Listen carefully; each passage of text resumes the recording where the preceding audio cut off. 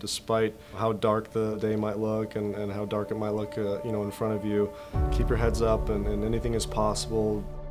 I think everything in our lives truly happens for a reason, that there's a purpose to behind, you know, why something so terrible, um, you know, happened to us, happened to our family.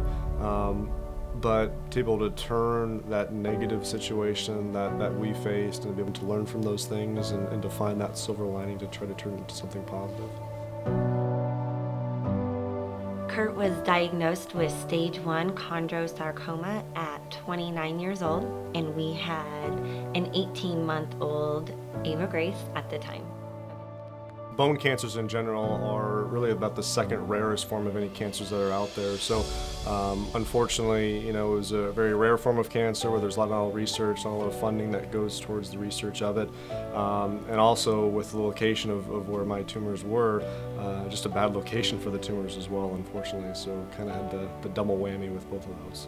Um, you hear the word cancer and you think, oh, you're going to go through chemo and radiation. Um, in our situation, chondrosarcoma is not treatable with chemotherapy or radiation. For him, it meant surgery.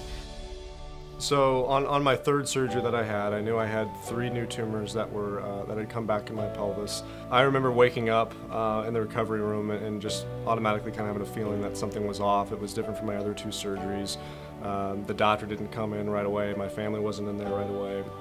So just sort of a feeling in the pit of my stomach that something was wrong.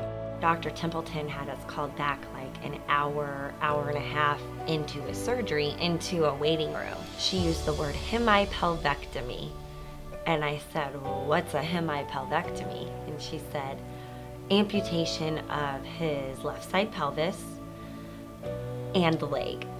I was really excited when she said amputation of the left side pelvis. I wanted that part gone. But when she said leg, the world stopped.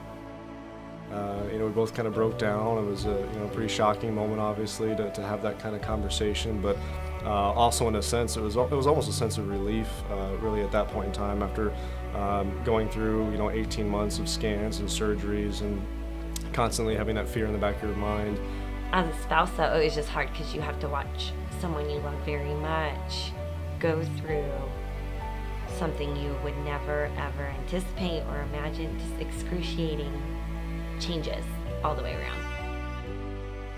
We've had things where we, um, you know, emotionally have been really tested and tried and fell flat on our faces at points. And then there's times where we really are celebrating life, you know. So, but isn't that anybody? I mean, we all go through uh, through moments and times in life that are hard.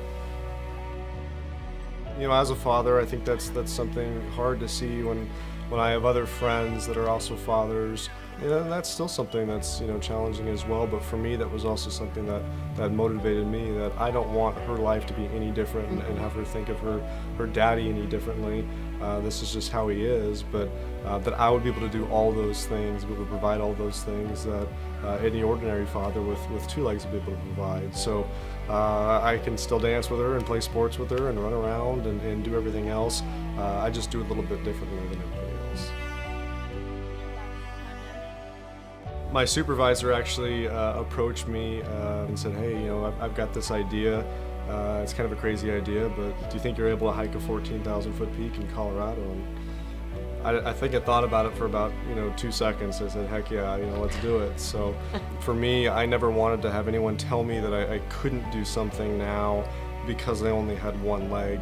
Uh, I wanted to show people that I could do just as much and actually do more things with one leg than I you know ever did with two legs. And and I've been able to do that between you know the climb and, and running and triathlons and, and, and cycling and, and all these things that I really challenged myself not not only physically as it challenged me, but uh, but mentally as well, and I think it's made me a, a stronger person.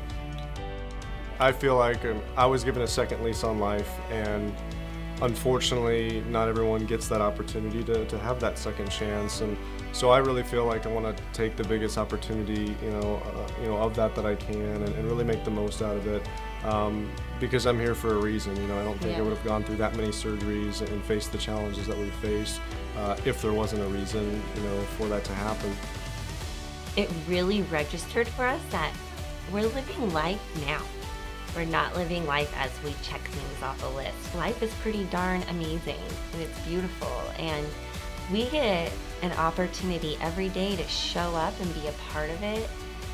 I mean, God invites us to be a part of this beautiful life every day. So I, I feel like going through this as hard as it's been, it's given us such a gift, such a, a zest for life and wanting to be a part of it.